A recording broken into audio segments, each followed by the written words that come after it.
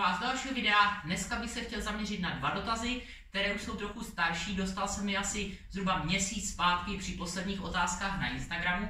Nicméně tak trochu spolu souvisí, proto jsem si je šetřil tady do jednoho videa. Eh, první dotaz eh, se týká toho, jak nejlépe protáhnout psoas, nebo takhle zní aspoň dotaz, jak nejlépe protáhnout psoas, to znamená týká se to kyčelních flexorů. A druhý dotaz se potom věnuje břišnímu svalstvu a jednoduše vlastně, eh, když budu parafrázovat, tak sportovec má během cvičení břišních svalů problémy se zapojením jedné strany. To znamená, že cítí více třeba pravou stranu těch břišních svalů než tu levou. To znamená, jak můžeme pomocí nějakých cviků vyrovnat to zapojení těch břišních svalů tak, aby bylo rovnoměrné. Takže první začneme s tím dotazem na ten svaz. Já bych se ještě zastavil u toho, než ukážu nějaký protahovací cvik, jestli je vůbec vhodné vlastně ten svaz protahovat. Protože ne vždy může být úplně optimální protahovat právě ty kyčelní uh, flexory. Máme tam ten psoas a iliacus, které se zapojí potom při flexi uh, vlastně v té kyči na 90 stupňů. Uh, do těch 90 stupňů tam máme ještě nějaké další tři svaly, které tomu pomáhají, ať je to krejčovský sval, napínač stehní povázky, v případě přímý sval stehní. Nicméně na 90 stupňů potom provádí vlastně tu flexi v té kyčli ty kyčelní flexory, flexory, ať ten psoas a ten Iliakus. Nicméně, jak už jsem říkal, chtěl bych se první věnovat vůbec tomu, jestli je vhodné uh, ty kyčelní flexory protahovat, protože nemusí vlastně být na vině uh, jejich zkrácení, ale může, může být na vině jejich oslabení. Takže uh, první, ještě než si ukážeme nějaké testy a cviky, tak vlastně pokud máme ten psoas, tak víme, že se nám upíná, řekněme, od nějakých bederních obratů a posledního hrudního obratle, potom na malých chocholích stěhení kosti. Stejně tak víme vlastně taky anatomie, že eh, iliakus se nám upíná eh, z kosti kyčelní, zase taky na ten malý chocholík stěhení kosti, to znamená, že mají stejný úpon, eh, souvisí spolu, takže je můžeme probírat dohromady víceméně jako kyčelní flexory. A teďka, jak už jsem říkal, může být nemusí být vždycky na vině to, že ty kyčelní flexory jsou zkrácené a potom můžou třeba za tu uh, bolest těch zad a tak dále. Takže jak my můžeme zjistit, jestli jsou ty kyčelné kyčelní flexory opravdu zkrácené, nebo jestli potřebují posílit, tak máme jednoduchý test. Víceméně lehneme si na lavici, uh, přitáhneme koleno hrudníku, dbáme na to potom, aby ta spodní část zad byla v kontaktu s lavicí, jo, neměli bychom být prohlí. A teďka, pokud máme kyčelní flexory v pořádku, nepotřebují protahovat, tak v podstatě bychom měli uh, tím hamstringem nebo zadní stranou stehna ležet na té lavici a koleno by mělo být takhle zhruba v těch 80-90 stupních. Jo, neměli bychom žádným způsobem uh, nějak extra se do toho nutit, mělo by nám to tam spadnout automaticky.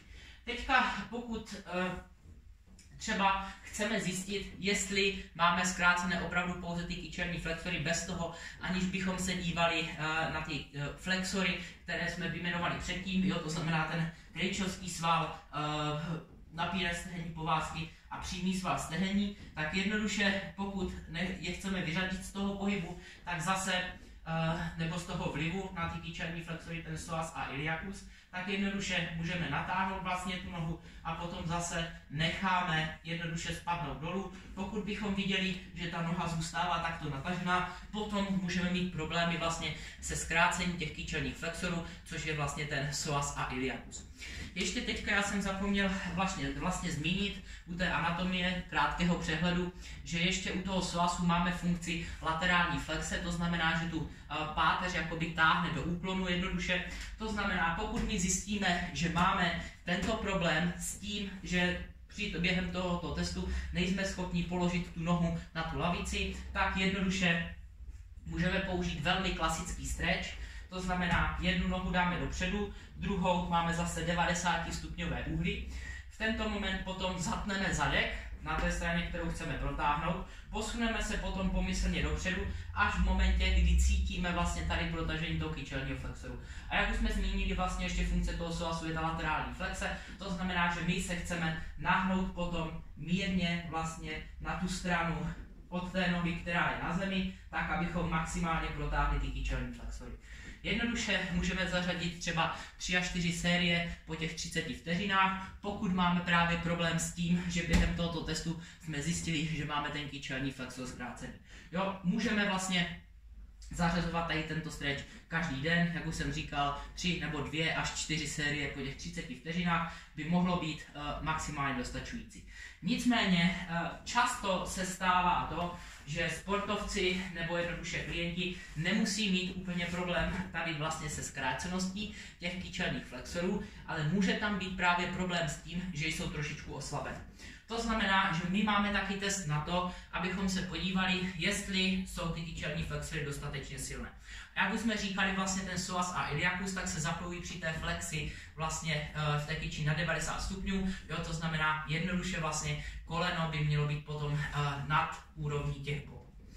To znamená, že my si můžeme stoupnout na lavičku, po případě na jakoukoliv pedínku, která nám povolí zvednout, nebo která nám umožní zvednout z ní to koleno právě na tu úroveň těch 90 stupňů. Teďka, pokud chceme zjistit, zdali je optimální síla vlastně v těch kyčelních flexorech, tak v této pozici bychom potom měli být schopni vydržet zhruba 15 až 20 vteřin. V momentě, pokud nejsme schopni vydržet 15 až 20 vteřin, v této pozici může to indikovat právě to, že máme nějakou slabost v oblasti těch kyčelních flexorů. Nepotřebujeme protahovat, protože ten první test, který jsme měli vlastně na protažení, řekněme, těch kyčelních flexorů, těch kyčelních flexorů zjistil, že nemáme problém se zkrácením, ale teďka tady tenhle druhý test právě zjistil, že máme problém se silou těch kyčelních flexorů. Jo, to znamená, že my během tohoto testu, pokud jsme zjistili, že nejsme schopni vydržet 15 až 20 vteřin, můžeme zařadit cviky potom na posílení těch kyčelních flexorů. Druhý test ještě, který máme, eh, a pokud bychom neměli lavici třeba, eh, tak jednoduše můžeme vlastně vytáhnout koleno nahoru, Jo, a vlastně zase z této pozice ho můžeme pustit a snažíme se vydržet zase alespoň těch 15 až 20 vteřin, eh, tak abychom zjistili, zdali je síla těch kýčelních flexorů dostatečná. Pokud nám to vlastně koleno začne padat, nebo pokud nám to koleno z této pozice začne padat, nebo po případě pokud zjistíme, že máme třeba chytáme křeč tady uh, na boku, uh, na těch jíždích, může to znamenat právě, že se snažíme kompenzovat tu nedostatečnou sílu těch kyčelních flexorů, co se týká toho uh, iliakusu a svasu za pomoci vlastně těch dalších třech svalů, které jsme uvedli a právě může to znamenat jejich oslabení. To znamená, že my se můžeme zaměřit na to, abychom je posílili. Máme tady zase pár cviků. První cvik, který máme vlastně úplně běžně souvisí s tím testem, který jsme měli a to jednoduše postavíme se zase na tu lavičku a z této pozice můžeme dát ruce za hlavu a z této pozice zvedneme nohu, pokusíme se vydržet 3 až 5 vteřin, položíme zpátky. Zase zvedneme nohu, můžeme vydržet 3 až 5 vteřin, položíme zpátky cvik můžeme, postup, eh, můžeme provádět vždycky, řekněme, pro 3 až 6 opakování, klidně víc, nebo 4 až 6 opakování. Pokud uh, jsme silní v tomhle cviku, můžeme jednoduše třeba přidat jednu ručku na to chodidlo, po případě můžeme uh, nějakým způsobem tam zaháknout ještě kettlebell za to chodidlo a zase můžeme se snažit posílit potom ten kyčelní flexor tímto způsobem. Další cvik, který lze používat, tak jednoduše bude za pomocí odporové gumy, kterou my si vezmeme. Přetočíme se teďka tu odporovou gumu, která ze začátku nepoužíváme nějaké extra napětí, tak abychom mohli cvik provádět optimálně, jednoduše položíme se, ruce by v tento moment měly svírat zhruba zase 90 stupňové uhlí, tlačíme do stěny, tak abychom spevnili vlastně široký sval zádový, uh, spodní část zase neměli bychom být prohlí v té spodní části zad, snažíme se pomyslně zatlačit jakoby žebra dolů, z pevnice v tento moment tlačíme rukama proti stěně, vytváříme vlastně nitrobřišní tlak, spevnění, zase nohy dáme před sebe, hop, natáhneme jednu stranu a druhá zase aktivně táhne potom uh, tu odporovou gumu směrem to koleno uh, k hrudníku. Vyměníme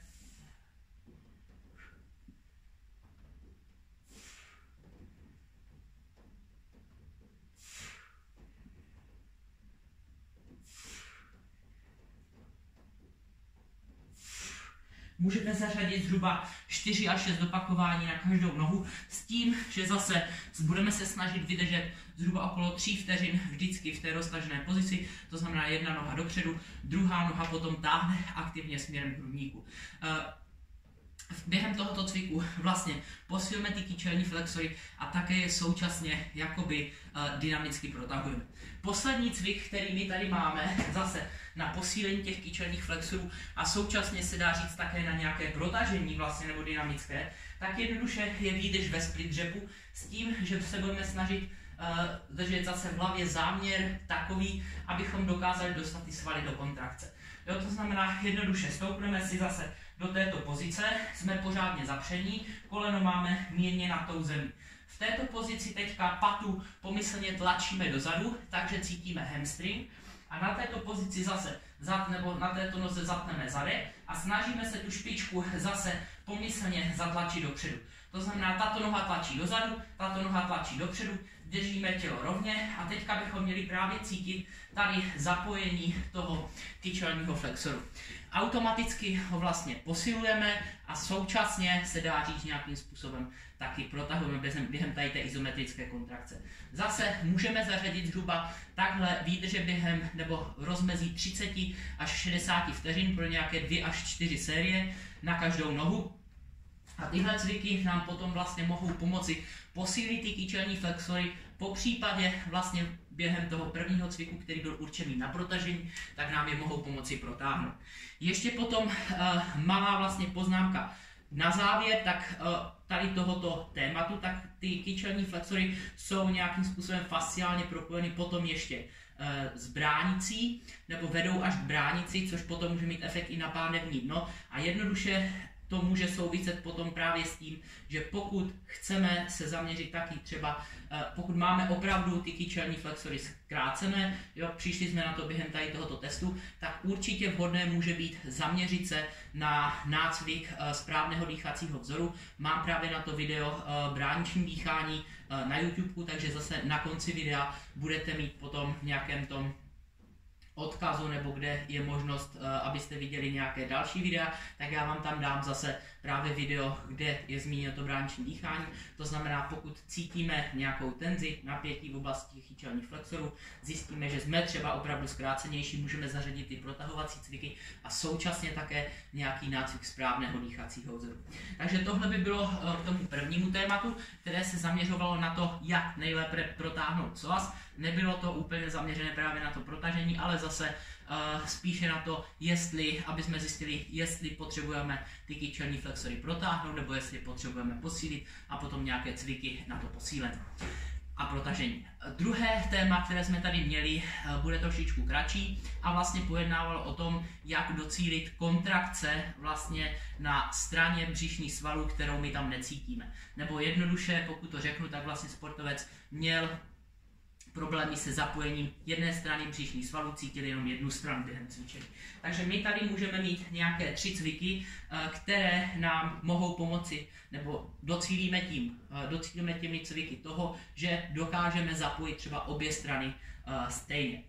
Ještě bych zase stejně jako u těch kyčelních flexorů měl malou připomínku k tomu dýchání. Může být tady tenhle problém způsoben také tím, že sportovec třeba dýchá více pouze do jedné strany nebo zapojuje třeba více pouze jednu stranu, jako by té bránice. To znamená velice jednoduchý test, který právě měl Chris Duffin na, v některém ze svých videí, videí, tak je, pokud vlastně se zaměříme na dýchání v zrcadle, tak vidíme, jak se nám třeba nerovnoměrně uh, nafukuje jedna strana, uh, ať už toho břicha, po případě vlastně tady v oblasti toho boku, takže vidíme, že se nám jedna strana nafukuje více než ta druhá, což značí, že můžeme mít právě problém s tím, že dýcháme více do jedné strany. V ten moment my můžeme třeba si na tu jednu stranu takhle jednoduše poklepat, tím pádem docílíme nějaké aktivace a potom během dalšího vlastně toho dýchacího cvičení, které zařadíme, můžeme efektivněji dýchat vlastně takhle do obou stran, čímž pádem můžeme třeba zlepšit potom zapojení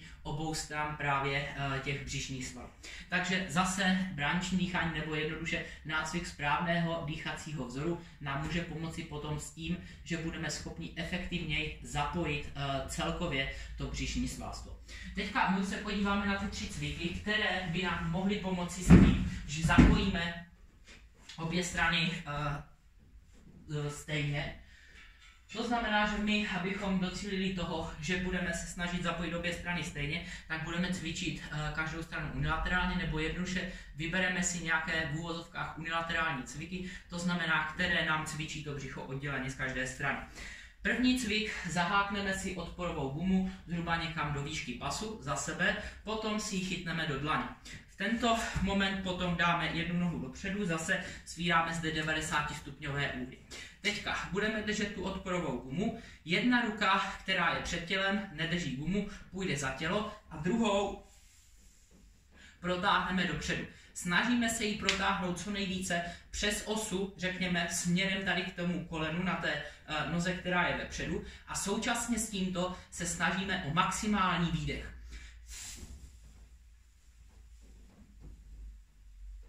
Vydechneme, vrátíme se zpátky, nadechneme,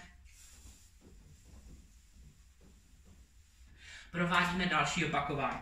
Důležité je, zadek zase na této straně je zatlý, noha směřuje pořádně do země, nebo tahle noha tlačí pořádně do země, ruka jde dozadu, snažíme se tady pomyslet zapnout široký svá zádový a tímhle maximálně touhle rukou zatlačit dopředu. V tento moment bychom měli cítit maximální tenzi vlastně tady v tom šikmém břišním svalku a celkově v této straně těch břišních svalů. Potom zase provádíme na druhou stranu, stačí 6 až 8 opakování, co nejdelší výdech, potom jdeme zpátky, nadechneme, provádíme další opakování. Druhý cvik, který my můžeme použít, tak bude vezmeme si balon, budeme potřebovat, nevím, tady balon na nějaké domácí cvičení a jednoduše můžeme taky použít foam roller samozřejmě, po případě cokoliv dalšího, co vás napadne. Dáme balon na jedno koleno, ruku dáme za hlavu. Druhou nohu mírně zvedneme, ruku potom dáme za sebe. V tento moment přitáhneme koleno k lokti a loket přitáhneme jakoby k tomu kolenu. V tento moment zase s výdechem se snažíme o to maximálně tlačit loket do toho balónu, koleno do toho balónu tlačíme pomyslně proti sobě. Zase druhá ruka je, co nej, je pevně na zemi vzadu, noha mírně zvedlá. Snažíme se o co největší izometrický tlak, zase snažíme se o maximální výdech. Potom povolíme po těch třeba 6 vteřinách, jak dlouho nám bude trvat ten výdech, Povolíme napětí, nadechneme se a znovu.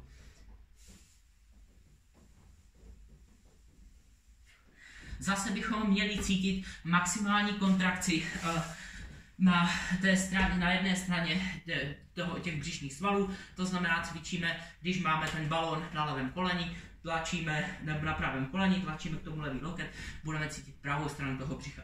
Zase snažíme se o maximální výdech, nadechneme se, provádíme znovu, řekněme 4 až 6 opakování, i ten předchozí cvik zhruba 2 až 4 série.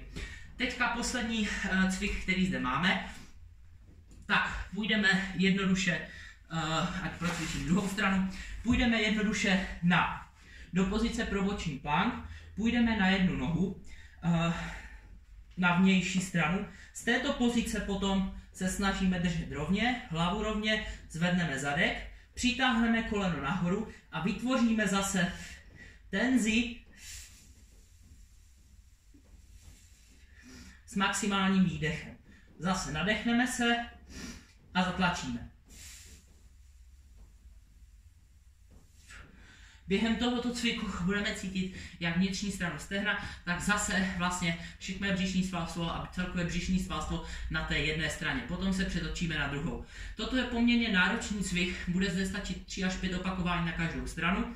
Eh, zase hluboký nádech a potom výdech. Snažíme se o maximální kontrakci těch břišních svalů. Cvik můžeme provádět takto, jak jsem byl, to znamená na předloktí. Po případě můžeme zvolit také variantu, že jsme na že jsme na celé dlaní, opneme dolů, zase protáhneme se, hop.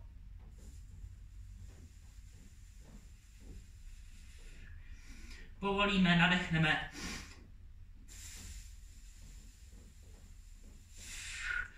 provádíme zase 3 až 5 opakování. Tohle jsou potom tři cviky společně, předtím můžeme provádět nějaké vlastně zase nácviky toho dýchání, správného dýchacího vzoru, tak abychom co maximálně nejvíce uh, pomohly tomu, že dosáhneme nějaké stejné kontrakce v rámci těch břišních svalů na obou stranách. Takže tohle už je všechno pro dnešní video. Byly to dva praktické dotazy. Nezapomeňte prosím kliknout na konec toho videa, kde máte zase uh, ukázku nebo link na to video o bráničním dýchání. Potom nezapomeňte prosím navštívit firmu Suprex, Suprex.cz, kvalitní suplementy. Stejně tak firma CBD Pharma prodává kvalitní konopné produkty, můžete použít sledový kód uh, VASIK10, pokud byste chtěli zakoupit nějaký vlastně uh, konopný produkt, CBD kapky a tak dále uh, na stránkách to je cbdpharma.cz. A potom vás taky poprosím, pokud se vám video líbilo, dejte like, navštívte ironverse.cz, podívejte se na e-shop, máme tam nějaké tréninkové programy, knihu základních tréninkových metod Ironverse, máme náš powerlifting klub, kde probíhá celoroční programming pro zlepšení dřepu, bench pressu a mrtvého tahu. Samozřejmě také s důrazem na rozvoj svalové hmoty, mobilitu, stabilitu a tak dále. Všechno vlastně máme na stránkách ironverse.cz. Pokud máte jakýkoliv další dotaz, ať už k tomuto videu, nebo jaké, nebo jaké téma chcete třeba pro další video, napište mi na vasigradek.gmail.com, po případě na info nebo mě na Instagramu. To už jdeme všechno, mějte se hezky a u dalšího videa se uvidíme. Ahoj!